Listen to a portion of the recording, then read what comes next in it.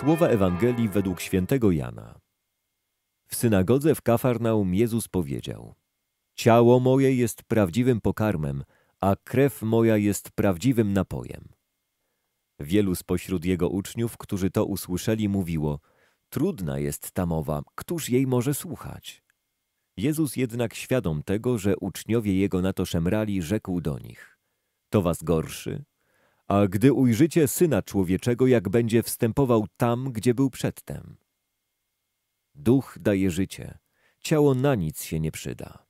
Słowa, które ja wam powiedziałem, są duchem i życiem, lecz pośród was są tacy, którzy nie wierzą. Jezus bowiem od początku wiedział, którzy to są, co nie wierzą i kto miał go wydać. Rzekł więc, oto dlaczego wam powiedziałem, nikt nie może przyjść do mnie, jeżeli mu to nie zostało dane przez Ojca. Odtąd wielu uczniów jego się wycofało i już z nim nie chodziło. Rzekł więc Jezus do dwunastu, czyż i wy chcecie odejść? Odpowiedział mu Szymon Piotr, Panie, do kogóż pójdziemy? Ty masz słowa życia wiecznego, a myśmy uwierzyli i poznali, że Ty jesteś świętym Boga. Głęboka relacja z Bogiem rodzi się z aktu wiary. Piotr wyznaje wiarę w Jezusa, uznając Jego słowa za prawdziwe i życiodajne. Wierzy pomimo to, że wielu zwątpiło i odeszło od Jezusa.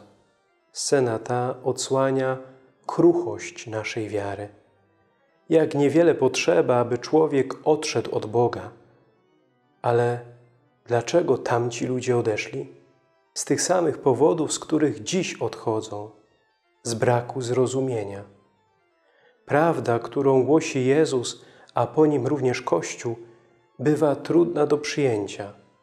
Nie chodzi o jej skomplikowaną strukturę, ale o treści, które przekazuje.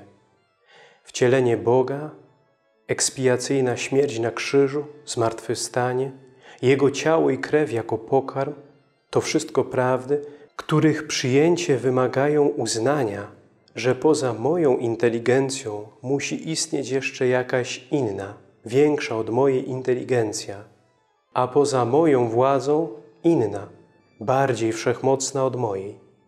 Wielu współczesnych ludzi odrzuca Boga tylko dlatego, że rozumieją Boga w sposób niewłaściwy, próbując Go upchnąć w ludzkie ramy myślenia lub dlatego, że Jego prawo stawia wymagania, których oni nie chcą przyjąć. Żydzi chcieli, aby Jezus stanął na czele rebelii wobec okupanta, a po odzyskaniu niepodległości stanął na czele rządu jako król. Liczyli na wymierne korzyści, uzdrowienia z chorób, wskrzeszenia zmarłych i jedzenia pod dostatkiem. Nie brali pod uwagę, że Bóg ma inny plan – że dla Niego ważniejszym od wszelkich struktur społecznych jest budowanie Królestwa Bożego w sercach ludzkich. Celem przyjścia na świat Jezusa, celem misji Kościoła jest prowadzić ludzi do komunii z Bogiem. Niech Bóg nas chroni przed wypaczeniem Jego nauki i szukaniem usprawiedliwienia dla naszego grzesznego postępowania. Nawróćmy nasze serca do Boga, póki jeszcze jest czas na to.